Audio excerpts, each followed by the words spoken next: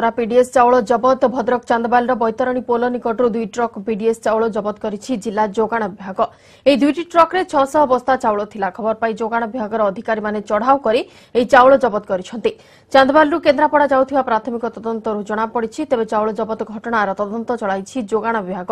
ଏଥିରେ କେଉଁମାନଙ୍କର ସମ୍ପୃକ୍ତି ଅଛି ସେସବୁର ଖୋଳତାଡ଼ ଚଳାଇଛି ଜିଲ୍ଲା ଯୋଗାଣ ବିଭାଗ।